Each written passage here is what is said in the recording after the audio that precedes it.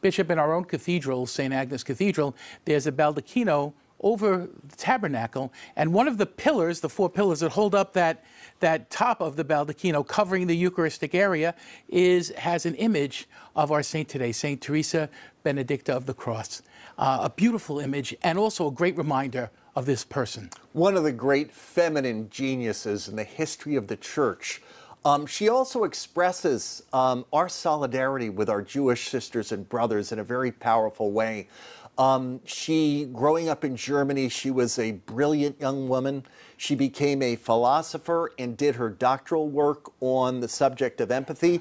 She was apprenticed by the great ph phenomenologist Husserl, that has gotten so much attention by people like St. John Paul II and the whole theme of phenomenology. So, in the course of her life, she is this intense philosopher making academic and scholarly contributions, being apprenticed with this great philosopher. Then one day, one day she's staying over at someone's house. It reminds me of St. Ignatius a little bit.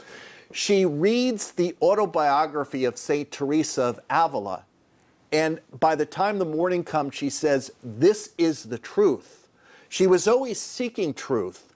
And so, this whole experience of reading the autobiography of Teresa of Avila, the great doctor of the church and Carmelite, um, led her not only to the objective truth and the contemplative dimension of truth, but also led her to be a Carmelite herself. And then, Monsignor, she becomes one of the great Holocaust saints beginning as her name, Edith Stein, which we know from the history of the Holocaust. Exactly. And the beautiful commentaries of her heroism at Auschwitz, uh, her laying down her life, not only as a Carmelite nun, but in solidarity with the Jewish people. It is a beautiful and powerful story. And Monsignor, there is a chance one day, given her philosophical background, her contemplative writings on the science of the cross. This is another potential doctor of the church.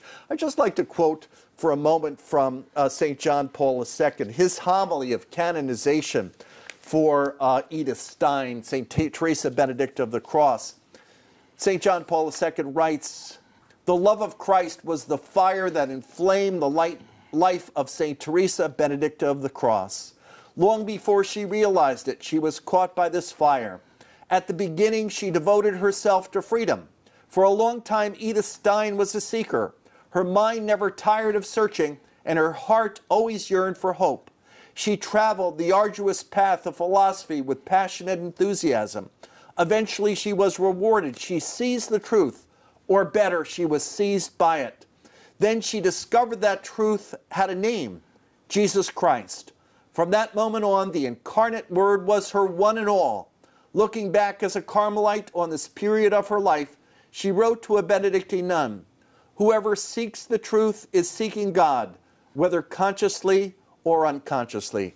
St. Teresa Benedicta of the Cross, pray for us.